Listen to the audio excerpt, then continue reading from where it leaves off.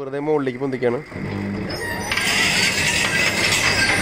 മുകളിലേക്ക് ഓടാക്കി അത് motor motor ഓടായി തുടങ്ങി കഴിഞ്ഞാൽ മോട്ടർ ഇപ്പോൾ തിരിഞ്ഞുകൊണ്ടിരിക്കുന്നത് അറുപത് പെർസെന്റേജിലാണ് അപ്പം നമ്മളിത് ലിവർ തന്നെ പിടിച്ച് പതുക്കാനെ പതുക്കാനെ പതുക്കാനെ പതുക്കാനെ കൂട്ടി.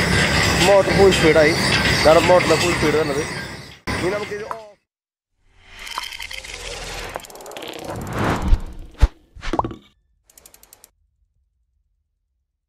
അപ്പോൾ പക്ഷേ നമ്മളിതേ വന്നിട്ടുള്ളത് നമ്മൾ ഈ ഒരു മോട്ടർ അതായിരിക്കും ഒരു മോട്ടർ വർക്ക് ചെയ്യില്ല നമ്മുടെ വന്നത്. അപ്പോൾ നമ്മളിത് ഈ സ്റ്റാർട്ടർ ഈ സ്റ്റാർട്ടർ നമ്മൾ ആദ്യം നോക്കാൻ പോണത് അപ്പോൾ ഈ സ്റ്റാർട്ടറിന്റെ ഇതേ കണ്ട? മുകളിലേക്ക് പിടിക്കില്ല പിടിക്കില്ല എന്നാണ് അവർ പറയുന്നത് അപ്പോൾ ഉള്ളിൽ എന്തെങ്കിലും മെക്കാനിസം കംപ്ലൈന്റ് ആയിട്ടുള്ളതാണ് ഇതിന്റെ അപ്പോൾ നമുക്കൊന്ന് സ്റ്റാർട്ടർ ഒന്ന് അഴിച്ച് നോക്കാം. അപ്പോൾ നമുക്ക് എന്താ കംപ്ലൈന്റ് കാര്യങ്ങളൊന്നും അറിയാം. അതുപോലെ തന്നെ ഇതാണ് നമുക്ക് പറഞ്ഞ പാനൽ ബോർഡ് വരുന്നത്. ഇത്ര വലുത് വരുന്നത്. ഏകദേശം അറുന്നൂറ് ആമ്പിയർ എണ്ണൂറ് ഒക്കെ വരും. അതുപോലെ തന്നെ എന്ത് ചെയ്യണമെങ്കിലും ആദ്യം തന്നെ നമ്മൾ എന്ത് ചെയ്യണം നമ്മൾ സ്വിച്ച് മസ്റ്റായിട്ടും വലിയ മെയിൻ സ്വിച്ച് ഏറ്റവും ടോപ്പ് മെയിൻ സ്വിച്ച് ഓഫ് ചെയ്യുക അതുപോലെ തന്നെ വേറെ നമ്മുടെ മോട്ടറിന്റെ മെയിൻ സ്വിച്ച് ഉണ്ടെങ്കിൽ മോട്ടറിന്റെ മെയിൻ സ്വിച്ച് ഓഫ് ചെയ്യുക അതിന് ശേഷം നമ്മൾ എന്ത് കാര്യം അഴിക്കാനും തുറക്കാനും പാടുള്ളൂ. അപ്പോൾ അതൊന്ന് ഓർമ്മ വയ്ക്കുക ഇത് ചേഞ്ച് ഓവറാണ് വരുന്നത് ജനറേറ്ററിന്റെ അപ്പം നമ്മൾ സെൻട്രലാക്കി ഇടുക. അതാണ് വരുന്നത്. അതിന് ശേഷം നമുക്ക് സ്റ്റാർട്ടർ അഴിക്കാം. അപ്പോൾ മോട്ടർ വരുന്നത് ഇതാണ്. അപ്പോൾ ഞാൻ ഒരു ഡീറ്റെയിൽ ആയിട്ട് മോട്ടറിനെ കുറിച്ച് പറഞ്ഞുതരാം. അപ്പോൾ കഴിച്ച് നമ്മുടെ പക്കമ്മലിന്റെ മോട്ടറാണത് നൂറ് എച്ച് പി മോട്ടറാണത് അപ്പോൾ ഈ നൂറ് എച്ച് പി മോട്ടറിന്റെ സ്റ്റാർട്ടർ ശരിയാക്കാണ് നമ്മൾ വന്നോട്ടുള്ളത് അപ്പോൾ ഈ മോട്ടർ എന്ന് പറയുമ്പോൾ ഏകദേശം എന്താ ഒരു തൂമ്പായിരിക്കണം ഇരിക്കുന്നുണ്ട് ഈ സൈഡിൽ ഏകദേശം നമുക്കൊരു എന്താ പറയുക ഒരു ഒരു ബൈക്കിനേക്കാളും വലിപ്പം ഈ മോട്ടറുണ്ട്. ബൈക്ക് എന്ന് പറയാൻ പോരാ ഒരു അത്യാവശ്യം നല്ല വലിപ്പമുണ്ട് രണ്ട് രണ്ടാളിനേക്കാളും വലിപ്പമുണ്ട് അപ്പോൾ നൂറ് എച്ച് പി മോട്ടറാണ് വരുന്നത്. ഇത് ഇത് സ്റ്റാർട്ടിങ് വരുന്നത് റോട്ടർ റെസിസ്റ്റൻസ് സ്റ്റാർട്ടിംഗ് ആണ് വരുന്നത്. അതുപോലെ തന്നെ വേറെ ഇനി പറയാന്ന് വെച്ച് കഴിഞ്ഞാൽ വേറെ പ്രത്യേകിച്ച് പറയാനൊന്നുമില്ല. റോട്ടർ വൈൻഡിങ് ഉണ്ട് സ്റ്റേറ്റർ വൈൻഡിങ് ഉണ്ട്. അതുപോലെ ബാക്കിൽ ഇതിന്റെ സ്ലിപ്പറിംഗ് ഉണ്ട്. ഈ വരുന്നത് ഈ പോർഷനിലാണ് ഈ ഒരു പോർഷനിലാണ് സ്ലിപ്പറിംഗ് വരുന്നത് ഇതിനുള്ള ബ്രഷും വരുന്നത്. അപ്പോൾ അതൊന്നും പ്രശ്നങ്ങളൊന്നുമില്ല. സ്റ്റാർട്ടറാണ് കംപ്ലൈന്റ് അപ്പോൾ കൈസ് ഇതാണ് ആ മോട്ടറിന്റെ പക്കമ്മൽ എന്ന് പറയുന്നത്. അപ്പോൾ പക്കം മോട്ടറിൽ നിന്നുള്ള പക്കമ്മലികളുടെ കണക്ഷൻ വരുന്നത്. അപ്പോൾ ഇതാണ് പക്കമ്മൽ എന്ന് പറഞ്ഞ മെഷീൻ അതായത് മണ്ണ് അരച്ചിട്ട് ഓടുണ്ടാക്കുന്ന മെഷീൻ ഇപ്പോഴത്തെ കളിമണ്ണ് നമുക്ക് ഇതിലിട്ട് അരച്ചിട്ട് നമുക്ക് കട്ട കട്ട പോലെ പീസ് വരും കളിമണ്ണിന്റെ അത് നമ്മൾ ഇതാ കാണുന്ന മെഷീനിൽ ഇട്ടിട്ട് നമ്മൾ ഓടാക്കി എടുക്കും അതാണ് അതിന്റെ പ്രവർത്തനം വരുന്നത്. പക്ഷേ നമ്മൾ ഓട് ഈ ഒരു പീസ് ഇങ്ങനത്തെ പീസ് അത് വെച്ച് അടിച്ചെടുക്കുമ്പോൾ ഓടായി കിട്ടും.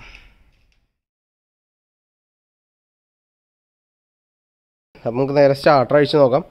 അപ്പോൾ കഴിച്ച് നമ്മൾ അടുത്ത് ചെയ്യാൻ പോകുന്നത് നമ്മൾ സ്റ്റാർട്ടർ അഴിച്ചിറക്കണം. അപ്പോൾ നമുക്ക് ഫ്രണ്ടിലത്തെ പാനൽ അതുപോലെ സൈഡ് അതുപോലെ ഇതിന്റെ ഓയിൽ ടാങ്ക് അപ്പോൾ നമ്മുടെ മെയിൻ കോണ്ടാക്ട് നിൽക്കുന്നത് ഓയിലാണ് നിൽക്കുന്നത്. അപ്പോൾ ഞാൻ നേരത്തെ പറഞ്ഞല്ലോ റോട്ടർ ഇല്ല റോട്ടർ റെസിസ്റ്റൻസ് സ്റ്റാർട്ടാണ് പറഞ്ഞത്. അപ്പോൾ നമുക്ക് ഇതിന്റെ മെയിൻ കോണ്ടാക്റ്റും അതുപോലെ തന്നെ ഈ ഒരു സാധനമാണ് ഇതിന്റെ റെസിസ്റ്റൻസ് റെസിസ്റ്റൻസ് വരുന്നത്. അപ്പോൾ പിന്നെ നമുക്ക് നമുക്ക് അഴിച്ചിറക്കിയിട്ട് എന്താ കംപ്ലൈന്റ് നോക്കാം. പിന്നെ പാനൽ പാനലോട് നമുക്കൊന്ന് അഴിച്ചിറക്കാം.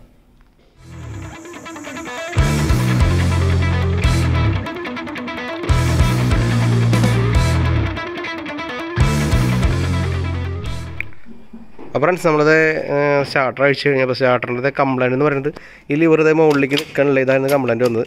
അപ്പോൾ അത് അഴിച്ച് വീണ് നോക്കിയപ്പോൾ അതെ നമ്മുടെ മെയിൻ കോൺടാക്റ്റിന്റെ സെറ്റ് കണ്ടോ? മെയിൻ കോൺടാക്റ്റിന്റെ സെറ്റ് ഇത് പൊട്ടി നിലത്ത് എടുക്കണം അപ്പോൾ അതുകൊണ്ടാണ് നിൽക്കാൻ പറ്റില്ല അത് ഈ ഒരു ബോൾട്ട് ഈ ഒരു ബോൾട്ട് പൊട്ടിയായിരുന്നു പൊട്ടി പൊട്ടി വിട്ടതാണ് നമുക്ക് മെയിൻ കോൺടാക്റ്റ് കിട്ടാത്തത്. അപ്പോൾ ഈ ലിവർ അടി നമ്മുടെ ഈ ലിവർ അടിയിലേക്ക് പോരാണ്. അതുപോലെ മുകളിലത്തെ ബോൾട്ടുകളൊക്കെ ലൂസായിട്ടുണ്ട് അപ്പോൾ ഞാൻ ചെയ്യേണ്ടതെന്ന് വെച്ച് കഴിഞ്ഞാൽ ഈ ഒരു ഈ ഒരു ബോൾട്ടും അതിന്റെ ഒപ്പം തന്നെ ഈ ഒരു ബോൾട്ട് നമ്മൾ മാറണം. പിന്നെ ഈ ബോൾട്ടിന്റെ ഒരു പ്രത്യേകത ഉണ്ട് ഞങ്ങൾക്ക് അവസാനം പറഞ്ഞുതരാം. അപ്പോൾ ഇതാണ് വരുന്നത്. ഇത് വരണ നമ്മൾ ഇതാണ് ഇതിന്റെ റിലേ കോയിൽ എന്ന് പറയുന്നത്. നമ്മൾ ഓവർലോഡ് വരുമ്പോൾ കട്ടാവണ റിലേ കോയിൽ എന്ന് പറഞ്ഞ ഇതാണ് വരുന്നത്. അതുപോലെ no volt coil no volt കോയിലാണ് ഇത് വരുന്നത്. അതാണ് നോ വോൾട്ട് കോയിൽ വരുന്നത്. അതുപോലെ തന്നെ നമ്മുടെ മെയിൻ കോൺടാക്ട് സെറ്റ് ഈ മെയിൻ കോൺടാക്ട് സെറ്റ് നമ്മുടെ മോട്ടറിന്റെ സ്റ്റേറ്റിലേക്ക് മാത്രമേ കറണ്ട് പോകുള്ളൂ അതിനുശേഷം നമ്മൾ ഇതാണ് ഈ ഒരു ഈ ഒരു ഈ ഒരു സ്റ്റൂൾ സ്റ്റൂൾ മാറ്റിയൊരു സാധനം കണ്ട. ഈ ഒരു സ്റ്റൂൾ മാറ്റിയ സാധനമാണ് ഇതിന്റെ എന്ത്? നമ്മുടെ റെസിസ്റ്റൻസ് വരുന്നത്. ഈ റെസിസ്റ്റൻസ് കട്ട് ചെയ്തിട്ടാണ് നമ്മുടെ മോട്ടറിനെ പതുക്കാൻ പതുക്കാൻ തിരിക്കുന്നത്. അപ്പോൾ ഞാൻ നേരത്തെ പറഞ്ഞല്ലോ നൂറ് എച്ച് പി മോട്ടറാണ് അപ്പോൾ നൂറ് എച്ച് പി മോട്ടറിന്റെ റോട്ടറിൽ വരുന്ന റെസിസ്റ്റൻസ് കട്ട് ചെയ്ത് കട്ട് ചെയ്ത് തിരിക്കുന്നത് ഇത് ഉപയോഗിച്ചിട്ടാണ്. അപ്പോൾ ഈ ലിവർ നമുക്ക് ഈ ലിവർ ഇങ്ങനെ സീറോയിലായിരിക്കും നമ്മൾ മോട്ടർ ഓൺ ആയി കഴിഞ്ഞ് കഴിഞ്ഞാൽ മോട്ടർ പതുക്കാൻ പതുക്കാൻ ഈ ലിവർ അനക്കി അനക്കി നമ്മൾ അനക്കി അനക്കി അനക്കി അനക്കി ഫുള്ളിലേക്ക് ആക്കുമ്പോൾ കട്ട് ചെയ്യുമ്പോൾ റെസിസ്റ്റൻസ് സീറോ ആയി പോകും അപ്പോൾ നമുക്ക് റോട്ടർ മോട്ടർ ഫുള്ളായിട്ട് തിരിയും. അങ്ങനെയാണ് സ്പീഡ് അഡ്ജസ്റ്റ്മെന്റ് വരുന്നത്. അപ്പോൾ നമുക്ക് അടുത്തതിന്റെ വർക്ക് ശരിയാക്കാൻ പോകണം അപ്പോൾ നമ്മൾ ഈ ഷാഫ്റ്റ് നമുക്ക് ഡയറക്റ്റ് വാങ്ങാൻ കിട്ടില്ല. നമ്മൾ അതിനെ കട്ട് ചെയ്ത് കൊണ്ടുപോയിട്ട് ഈ ബോൾട്ടിന്റെ വലുപ്പത്തിൽ നമ്മൾ ലൈത്തിൽ കട്ട് ചെയ്ത് പിരിവട്ടി എടുക്കണം അപ്പോൾ നമുക്ക് അടുത്ത പണി കഴിഞ്ഞിട്ട് നമുക്ക് കാണാം. അപ്പോൾ ഇത് ഒടിഞ്ഞ ബോൾട്ടാണ് ഈ കാണുന്നത്. അപ്പോൾ ഇതാണ് ശരി ഇത് ഒടിയാൻ ഒടിയാത്ത ബോൾട്ട്. അപ്പോൾ മുന്നേ ആരോ പണിതിട്ട് ഇത് കണ്ടത് നമ്മുടെ ദേ ഇവിടെ വെൽഡ് ചെയ്ത് സെറ്റാക്കിയിട്ടുള്ള മുന്നേ. അപ്പോൾ മറ്റേ ബോൾട്ടിന്റെ കറക്റ്റ് ആ ഒരു പോർഷനിൽ വെച്ചിട്ട് ഒടിഞ്ഞിട്ടുള്ളത്. അപ്പോൾ ഒടിഞ്ഞ പീസ് ഇതാണ് നമുക്ക് അതിന് ഒടിഞ്ഞ പീസ് വരുന്നത് ഇതാണ്. ഈ ഒരു പീസാണ് ഒടിഞ്ഞത് വരുന്നത്.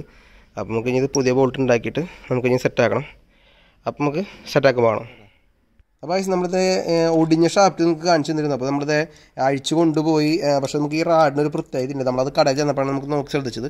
ഈ ഒരു ബോൾട്ട് ഒരു സാധാരണ ബോൾട്ടല്ല ഒരു ഹൈ ടമ്പർ ബോൾട്ടാണ് അപ്പോൾ നമുക്ക് ഈ ഒരു ഈ ഒരു ടൈപ്പ് ബോൾട്ട് വാങ്ങി നമുക്ക് പിരിവെട്ടാൻ സാധിക്കില്ല. അത്ര എളുപ്പമുള്ള കാര്യമില്ല. അപ്പോൾ നമ്മൾ എന്ത് ചെയ്തു? നമ്മൾ ഒടിഞ്ഞ പീസ് നമ്മൾ ഇതിൽ വെച്ച് റാഡ് വെച്ചിട്ട് കറക്റ്റായിട്ട് വെൽഡ് ചെയ്ത് ഗ്രൈൻഡ് ചെയ്ത് സെറ്റ് ചെയ്തിട്ടുണ്ട്. അപ്പോൾ ഇനി രണ്ടാമത് നമുക്ക് ഈ ബോൾട്ട് അതിലിട്ട് നമ്മുടെ മെയിൻ കോൺടാക്റ്റിന്റെ സെറ്റ് നമ്മുടെ ഇതിൽ വെച്ചിട്ടുള്ള മെയിൻ കോൺടാക്റ്റ് സെറ്റ് നമുക്ക് ഇനി രണ്ടാമതിലേക്ക് പിടിപ്പിക്കണം. അതാണ് നമുക്ക് അടുത്ത് ചെയ്യാൻ പോണത്.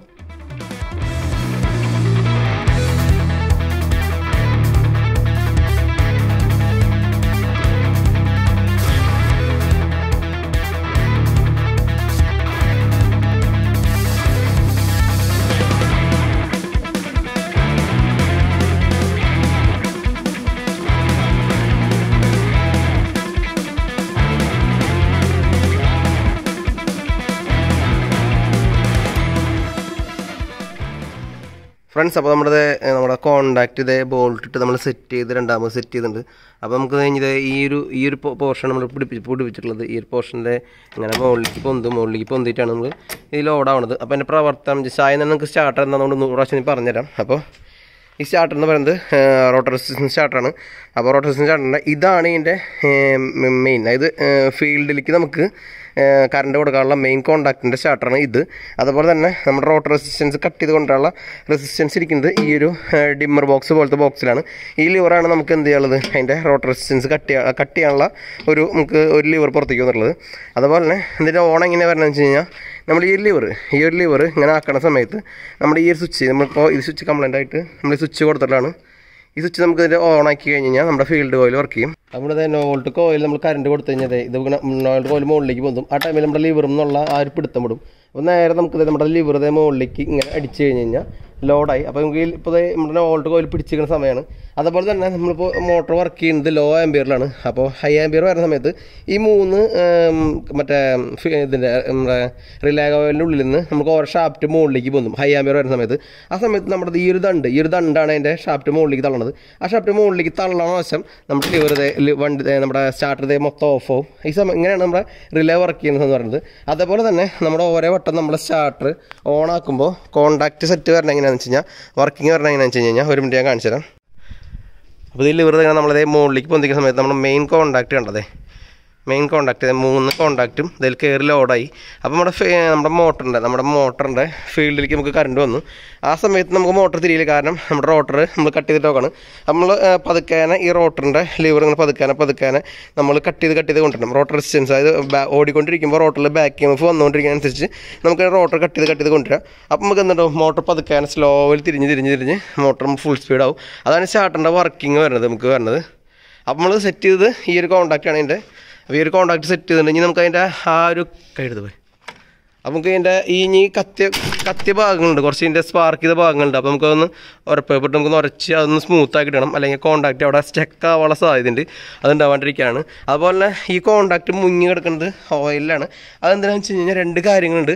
ഒന്ന് നമ്മുടെ കോൺടാക്റ്റ് തമ്മിൽ മുട്ടുമ്പോൾ വരണ കത്തുമ്പോൾ വരണ സ്പാർക്ക് ആ സ്പാർക്ക് ഒഴിവാക്കാനും അതേപോലെ തന്നെ നമ്മുടെ ബാക്കിന്റെ മൂവിങ് പാർട്സ് ആണല്ലോ കൂടുതൽ അതിന് കുറച്ച് ലൂബ് ലൂബ് കിട്ടാനാണ് നമ്മൾ ശരിക്കും ഓയിൽ ഇത് വർക്ക് ചെയ്യുന്നത്. അതുപോലെ തന്നെ ഹീറ്റ് ഹീറ്റ് വരുന്നതൊക്കെ നമ്മൾ ഇതിൽ നമ്മുടെ ഓയിലിൽ ഇല്ലാണ്ടായി പോവും അതാണ് മെയിൻ മെക്കാനിസം വരുന്നത് അതുപോലെ തന്നെ നമുക്ക് ഇതിന്റെ നോൾട്ട് കോയിൽ കട്ട് ചെയ്ത് കഴിഞ്ഞ് കഴിഞ്ഞാൽ അപ്പോൾ തന്നെ ഈ സ്റ്റാർട്ടറിന്റെ മെയിൻ അതായത് ഫീൽഡ് മിക്കുള്ള കോണ്ടാക്റ്റ് മൊത്തം കട്ടാവും അപ്പോൾ നമ്മുടെ മോട്ടർ ഡയറക്റ്റ് ഓഫായി പോണത് പിന്നെ നമ്മൾ രണ്ടാമത് സ്റ്റാർട്ട് ചെയ്യണമെങ്കിൽ രണ്ടാമത് നമ്മൾ ഈ ലിവർ നമ്മൾ എന്ത് ചെയ്യണം രണ്ടാമത് സീറോ പൊസിഷനിലേക്ക് കൊണ്ടുവയ്ക്കണം അതാണ് എന്റെ മെയിൻ വേറൊരു കാര്യം പറയാനുള്ളത് അപ്പോൾ ഇതൊക്കെയാണ് ഈ സ്റ്റാർട്ടറിന്റെ വർക്കിംഗ് വരുന്നത് അപ്പോൾ കംപ്ലൈന്റ് അഴിക്കണവരുണ്ടെങ്കിൽ നോക്കി അഴിക്കുക ശ്രദ്ധിച്ച് അഴിക്കുക അപ്പോൾ വേറെ പ്രത്യേകത ഒന്നുമില്ല. ഇത്രയും അതിന്റെ വർക്കിംഗ് വരണുള്ളൂ മെക്കാനിക്സാണ് മെയിനായിട്ടത് ഇത് മാനുവൽ സ്റ്റാർട്ടറാണ് ഓട്ടോമാറ്റിക് സ്റ്റാർട്ടർ അല്ല.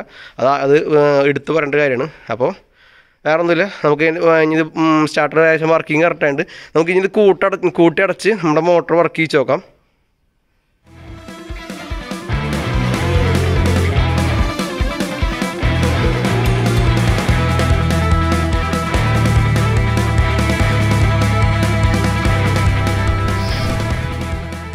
അപ്പോൾ നമ്മുടെ സ്റ്റാർട്ടറിന്റെ ഫുള്ള് സെറ്റിങ് കഴിഞ്ഞിട്ടുണ്ട്. നമ്മുടെ അടിയിലത്തെ ടാങ്ക് മുറുക്കി അതുപോലെ കവറുകളൊക്കെ മുറുക്കിയിട്ടുണ്ട്.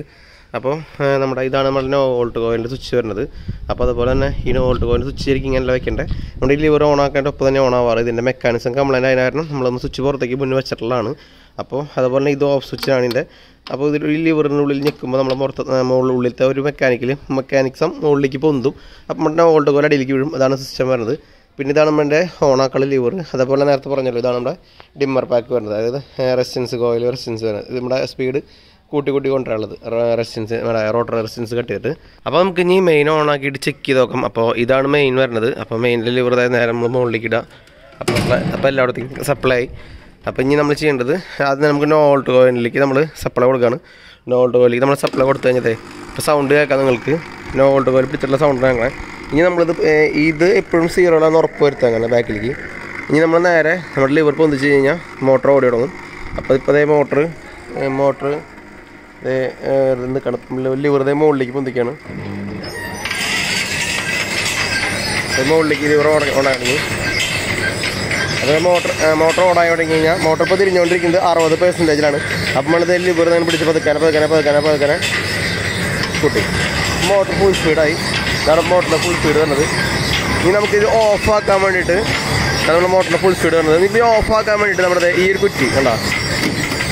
ഒരു കുറ്റി കട്ട് ചെയ്ത് കഴിഞ്ഞാൽ നമ്മുടെ ലിവർ നിലത്തേക്ക് അതിന്റെ ഒപ്പം തന്നെ നമ്മുടെ മോട്ടർ മോട്ടർ ഓഫായി അതാണ് സിസ്റ്റം വരുന്നത് അപ്പോൾ നേരെ വേറെ ഒന്നുമില്ല.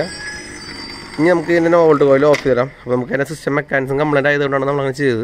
അപ്പോൾ അതുപോലെ തന്നെ നമുക്ക് ഇനി ഈ ലിവർ ഇത് ഓഫായി കഴിഞ്ഞാൽ നമ്മുടെ ഈ ലിവർ എപ്പോഴും എന്ത് ചെയ്യണം? നമ്മൾ സീറോ പൊസിഷനിൽ കൊണ്ടിടണം ഇനി ഓൺ ആക്കുന്ന സമയത്ത് എപ്പോഴായിരിക്കും സീറോ തന്നെ ഓൺ ആക്കണം അപ്പം റോട്ട് റെസിസ്റ്റൻസ് കട്ട് ചെയ്ത് മോട്ടർ കട്ടായിട്ട് റൺ ആവുള്ളൂ. അല്ലെങ്കിൽ ഓവർലോഡ് കറണ്ട് വന്നിട്ട് നമ്മുടെ മെയിൻ മെയിനിലത്തെ ഫ്യൂസും കാര്യങ്ങളൊക്കെ പോകാൻ സാധ്യതയുണ്ട്. അപ്പോൾ അതാണ് ഇതിന്റെ മെക്കാനിസം വരുന്നത്. അപ്പോൾ നമുക്ക് ഇത്രയാണ് സ്റ്റാർട്ടറിന്റെ വർക്കിംഗ് വരുന്നത്. ഫ്രണ്ട്സ് അപ്പോൾ നമ്മുടെ ഇവിടുത്തെ പണി കഴിഞ്ഞിട്ടുണ്ട്. അപ്പോൾ നിങ്ങൾ സ്റ്റാർട്ടർ ശരിയാക്കിയത് കണ്ടു. അപ്പോൾ നിങ്ങൾ ഫസ്റ്റ് മസ്റ്റായിട്ട് ഒരു കാര്യം ശ്രദ്ധിക്കുക എന്ത് സാധനം നമ്മൾ ശരിയാക്കാൻ വേണ്ടിയിട്ട് അഴിക്കുകയാണെങ്കിൽ അതിന് മുന്നേ നമ്മൾ മെയിനും കാര്യങ്ങളൊക്കെ ഒന്ന് ഓഫ് ചെയ്യണം. അതുപോലെ മെയിൻ ഓഫ് ചെയ്താലും നമ്മുടെ ലൈൻ വരുന്നുണ്ടോ എന്ന് ചെക്ക് ചെയ്യണം ഒന്ന്. എന്തായാലും നിങ്ങൾ ടെസ്റ്റർ ഉപയോഗിച്ച് അല്ലെങ്കിൽ എന്തെങ്കിലും ചെക്ക് ചെയ്തിട്ട് നമ്മൾ സേഫ്റ്റി ഫസ്റ്റ് ആയിട്ട് മസ്റ്റായിട്ട് അവിടേക്ക് ലൈൻ വരില്ല എന്ന് ഉറപ്പ് വരുത്തതിന് ശേഷം നിങ്ങൾ പണി തുടങ്ങുക. അതുപോലെ തന്നെ അറിയില്ലെങ്കിൽ നമ്മൾ അഴിക്കുമ്പോൾ സൂക്ഷിച്ച് അഴിക്കണം എപ്പോഴും. പുതിയൊരു സാധനം അഴിക്കുമ്പോൾ നമ്മൾ എപ്പോഴും ശ്രദ്ധിച്ച് സൂക്ഷിച്ച് അഴിക്കുക. അറിയാത്ത നമ്മൾ വീഡിയോ എടുത്ത് വയ്ക്കുക അല്ലെങ്കിൽ നമുക്ക് രണ്ടാമത് പിടിപ്പിക്കുന്ന നേരത്ത് നമുക്ക് വലിയൊരു ബുദ്ധിമുട്ടുണ്ടാക്കും.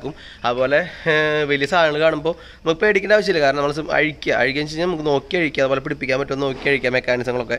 അപ്പോൾ വേറെ പ്രത്യേകിച്ചൊന്നുമില്ല. അപ്പോൾ നമുക്ക് സാധനം നമ്മുടെ ഇവിടുത്തെ ഇവിടുത്തെ വർക്ക് സക്സസ് ആയിട്ടുണ്ട്. അപ്പോൾ നമുക്ക് ഇവിടെ നാളോട്ട് ഒരു മോട്ടർ വിടും. അപ്പോൾ നമുക്ക് വിട്ടിട്ട് ബാക്കി കാര്യങ്ങൾ ഒരു വിളിച്ച് പറയും. അപ്പോൾ നമുക്ക് വേറെ ഇവിടെ ഒന്നുമില്ല. നമുക്ക് അടുത്തൊരു നമ്മൾ നല്ലൊരു സാധനങ്ങൾ അടുത്ത് വരുമ്പോൾ നമ്മളിതുപോലെ വീഡിയോ എടുത്ത് നിങ്ങൾക്ക് വേണ്ടി ഷെയർ ചെയ്യാം. അപ്പോൾ ചെറിയ പണിക്കാരായാലും വലിയ പണിക്കാരായാലും നമ്മൾ ഓരോ അറിവുകൾ നമ്മൾ സേവ് ചെയ്യുക കാണുക. അതുപോലെ തന്നെ എന്തെങ്കിലും നമുക്ക് നമ്മുടെ നിന്ന് കിട്ടുന്നുണ്ടെങ്കിൽ ഇത് ഇതിൽ പോരായ്മകൾ ഉണ്ടെങ്കിൽ ഞങ്ങൾക്ക് പറയുക അല്ലെങ്കിൽ എന്തെങ്കിലും നിങ്ങൾക്ക് കൂടുതലായിട്ട് അറിയാൻ ഞങ്ങൾക്ക് പറഞ്ഞുതരാം. അപ്പോൾ ഞങ്ങളുടെ സർവീസുകൾ കണ്ടു. അപ്പോൾ എന്തെങ്കിലും സർവീസുകൾ ഉണ്ടെങ്കിൽ നമുക്ക് അതിനും വിളിക്കാം. അപ്പോൾ ശരി വേറെ എന്തെങ്കിലും നമുക്കൊരു വേറെ ഐറ്റംസ് ആയിട്ട് വീണ്ടും കാണാം.